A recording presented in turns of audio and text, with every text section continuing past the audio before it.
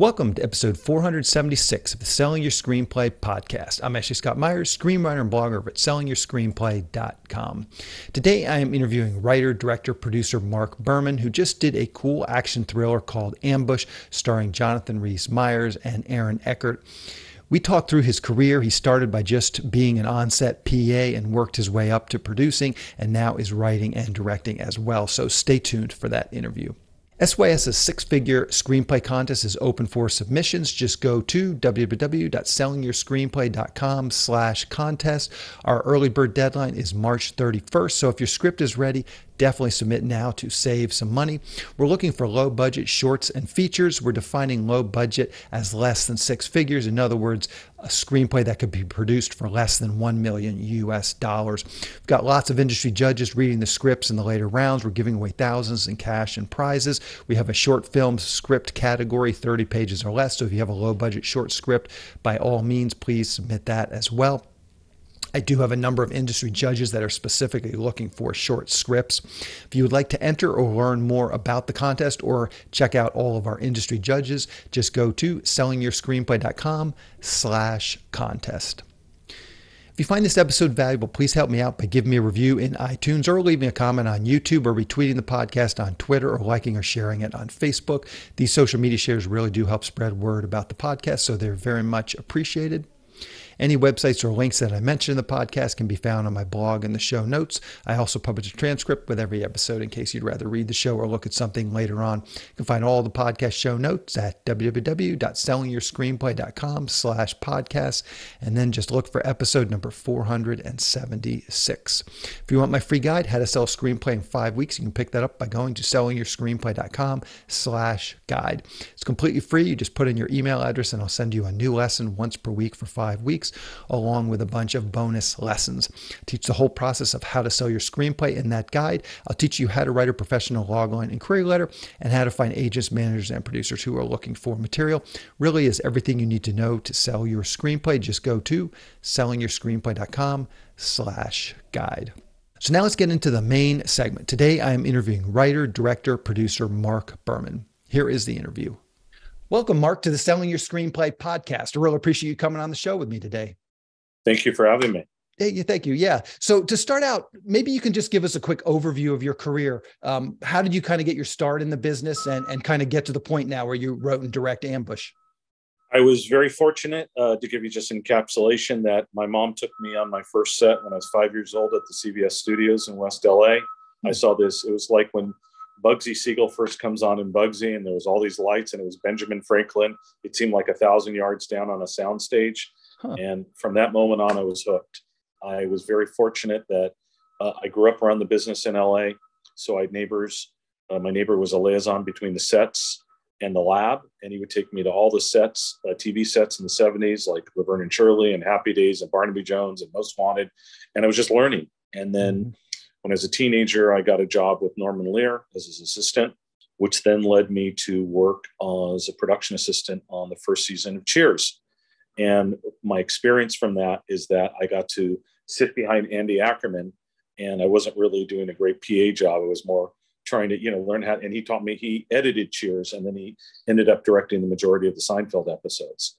And so that's where I learned the notes. Where I really learned cinema was being on a set never went to film school. And before the age of VHS and DVDs, I would uh, go to all the art repertoire theaters around town and just watch a week of Ozu, a week of Hitchcock, you know. Mm-hmm. And then obviously when VHS came, I just gobbled everyone I could. And then when DVDs came in, obviously by that time, you know, I was more seasoned. And then yeah, I just started making films when I was 28. So now, as I just love to get your just take. Things obviously have changed over the last couple decades, but eh, someone that's trying to break into the business today and get those PA jobs, um, and I'm sure now you're a producer, so people are coming to you. Well, give us some just quick tips. How should people approach people that are fresh out of college? They want to get into the business. They want to get those PA jobs. Just give us some tips on that. How do they approach a producer like yourself that if, now if, has had experience? And sure, if I can just just go on a sidebar to that question for a second, my biggest advice advice because I hear, you know, there's people say, oh, I've got, I'm, I'm doing a short. And to me, shorts are great, but go make a, go make a feature for 2000 bucks. And they say how to do that. I said, you'll figure it out because costs of, of, filmmaking are so inexpensive now. Mm-hmm.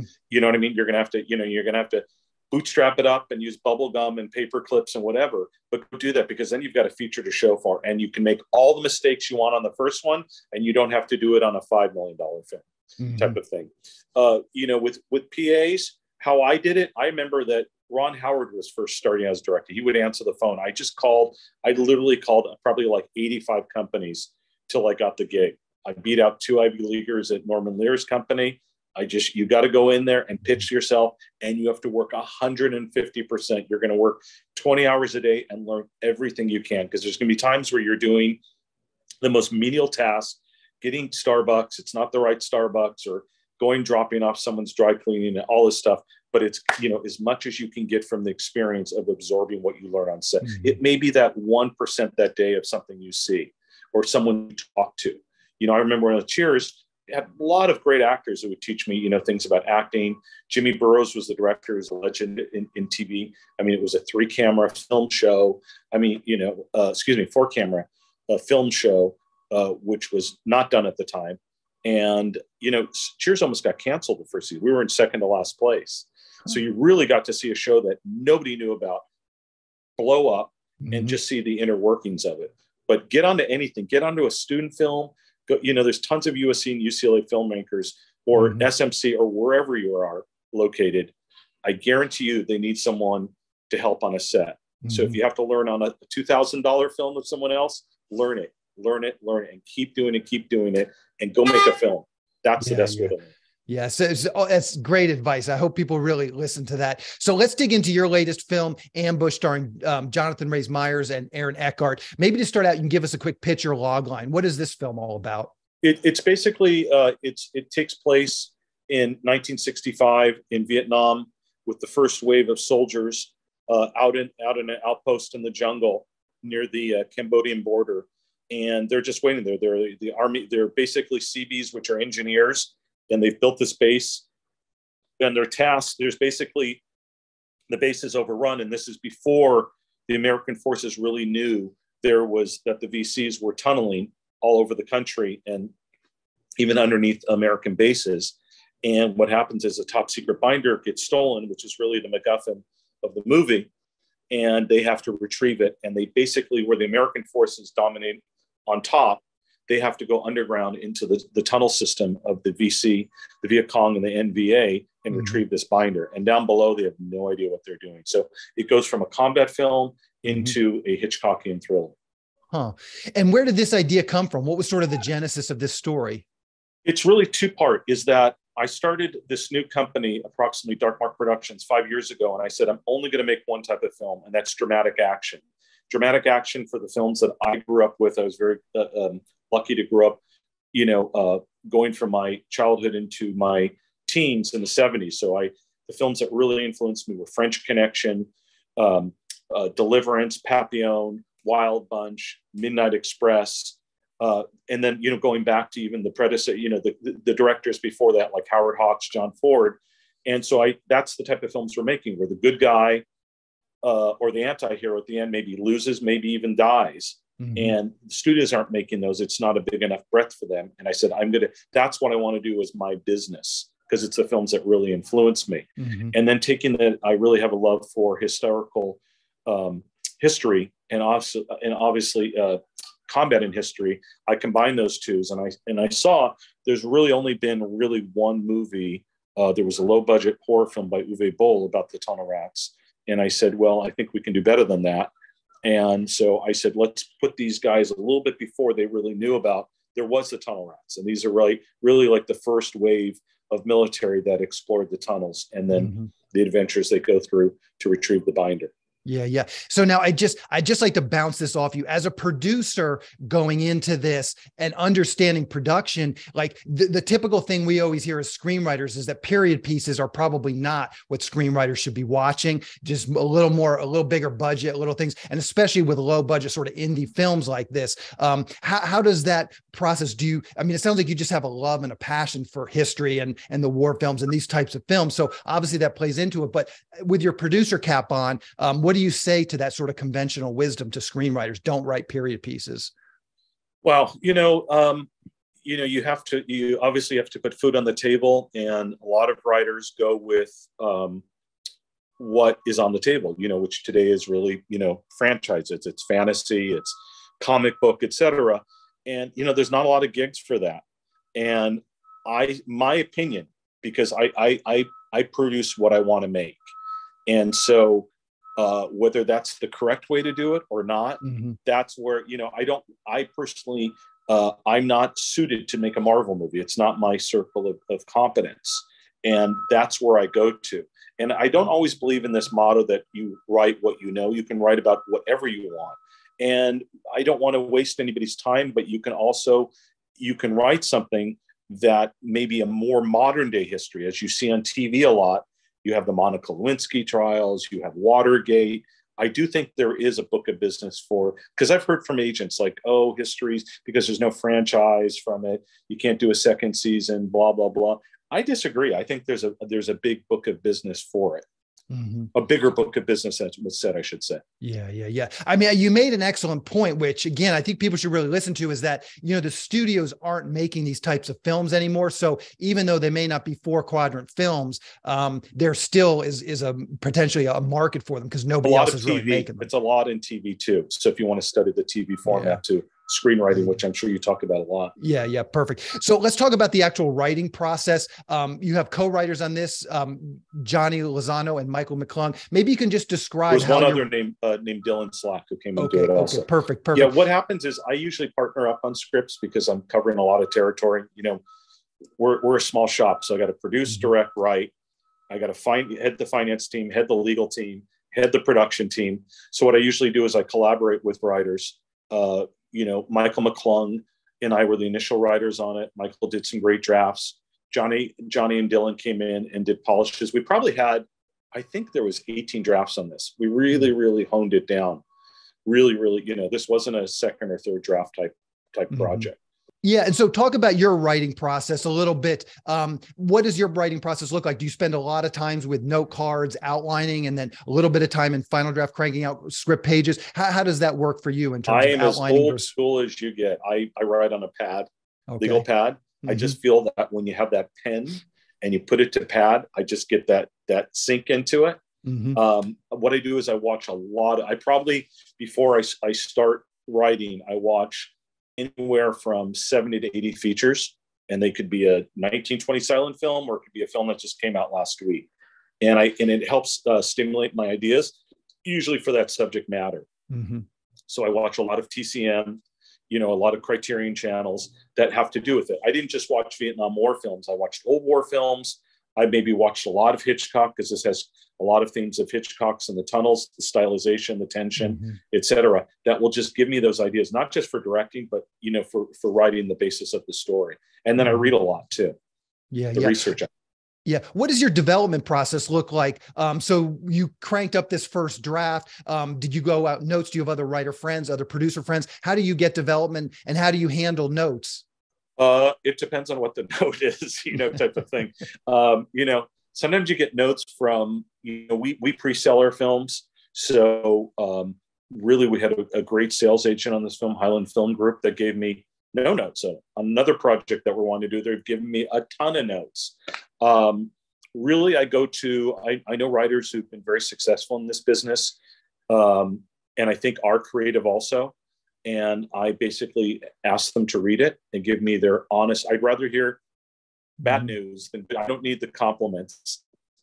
You know what I mean? It's mm-hmm. because it, that then I'm going to just have you know a crappy script. I really want to hear like, and they'll you know they'll give you the positive notes and they'll say you got a hole here, you got a hole here. Your character maybe should be doing this.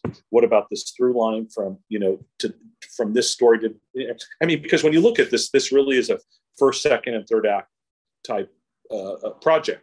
I have projects that have absolutely none of that throughout all the rules, you know, which have more of that mm-hmm. Goodfellas type of storyline, which really, I don't know if you call it a story in a sense, it's more of a tale. Mm-hmm. I'm curious. Um, so once you had okay so once you had your script you had a draft done that you were happy with what are those next steps? And you just said you were the one that's basically the head of raising financing. Just in a nutshell how do you go about raising finance for this? Is it companies you've done business with before? You have these prior relationships? I went to a, a great sales company that was referred to me by one of the producers david unger. We basically said we have Aaron Eckhart attached, and they uh, you make a deal with with Aaron and then Jonathan Rhys Meyers as your essential elements, and then they go out to their buyers and they start doing the pre-selling process where they go to 20 for example we had 21 sales from a domestic um, buyer which was saban to spain france africa you know all the different territories around the world mm-hmm. and uh, germany. And basically they license the film. You take all that plus some equity from investors. You get a tax incentive where we filmed in colombia. You take that whole kit and caboodle. You take it to a financier and then they finance based on your mm-hmm. collateral. Gotcha. Now, all of this pre-selling, it seems to me over in past decades, I would hear a lot more about that. Has that changed over the last couple of decades? The market is there less pre-selling? There's less pre-selling, but you know the, what I like about pre-selling is if you pre-sell and there was we had a lot of sales on this right away, then you know that you've got the right product that the marketplace wants. Mm. So I can say, "Hey, I've got this passion project," and then the market can say, "Great, we love it, we're buying it, or they can say crickets. That doesn't mean it's still not a good film. Mm-hmm. It's just not a marketable film for the market at this time. I knew that with if you look at it, the the numerator is this great story that takes place in this historical piece of time. And then the, the denominator is there's a lot of explosions. You know, mm-hmm. there's, there's cool hardware, there's a lot of tension, you know, and people getting blown away, mm-hmm. which people like in action films. Yeah, yeah. Get a lot of action. So you mentioned you had your cast, Aaron Eckhart and um, Jonathan Rhys Meyers. So one of the things that I always hear, again, sort of the conventional thing is, oh, they love the script, so they signed a letter of intent. But when you really dive down there, most of the time it's a pay or play offer. And again, we don't have to talk about the specifics, but how do you kind of get past that catch 22 of, you know, having to make a pay or play offer before you actually have money? And just exactly what you said is you knew you had a market fit, but you probably already had to promise some money to some of these actors before yes, you. I usually don't do uh, letters of intent. Uh, I find that most agents uh, don't like them. They don't want them because it's really it's only worth what the paper is. Mm-hmm. And you, they can, if you aren't a seasoned producer, and that project gets some toxicity around it, then that hurts their client. Mm-hmm. They want a project that has solid, you know, is is is solid and if so, to get to that point, they're going to want hold monies, which you have to raise from an investor. I have our own in the company, and we have investors that put up those monies. Mm-hmm. Yeah, yeah. So, how can people see Ambush? What's the release schedule going to be like? The release will be in theaters uh, February 24th, a week from tomorrow. Okay. And it'll be on 100 screens nationwide in the 17 top markets, and it will be all over VOD, Amazon Prime, all everywhere. Perfect, perfect. And what's the best way for people to keep up with what you're doing? Twitter, Facebook, Instagram, anything you're comfortable sharing. Instagram, the, the, Dark Instagram. Mark Experience. Okay, perfect. I'll put that in the show notes. Mark, I really appreciate you coming on the show, talking with me. Great interview. Congratulations. Thank you. Actually, this, this was great. I really yeah. appreciate it. Thank you. Hey, thank you. We'll talk to you later. Thanks. Bye-bye. Bye. I just want to talk quickly about SYS Select. It's a service for screenwriters to help them sell their screenplays and get writing assignments. The first part of the service is the SYS Select Screenplay Database. Screenwriters upload their screenplays along with a logline, synopsis, and other pertinent information like budget and genre, and then producers search for and hopefully find screenplays they want to produce. Dozens of producers are in the system looking for screenplays right now.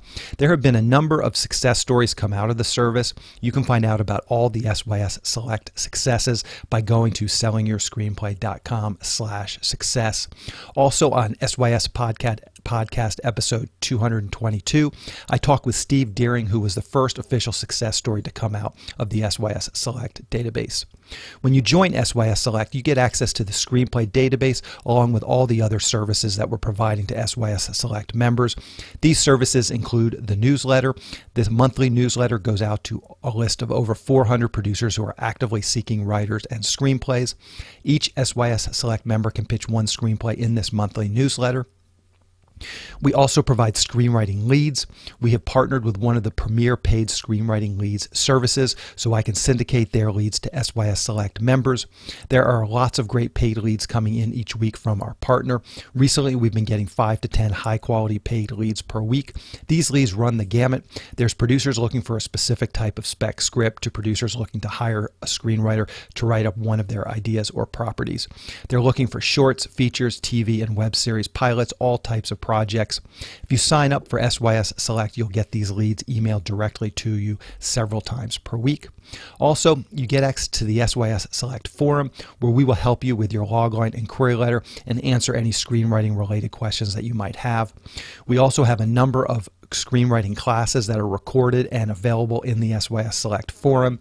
These classes, these are all the classes that I've done over the years, so you'll have access to those whenever you want once you join.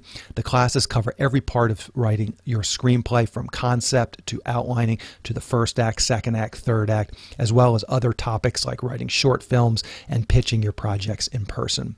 Once again, if this sounds like something you'd like to learn more about, please go to sellingyourscreenplayselect.com. Again, that is sellingyourscreenplayselect.com.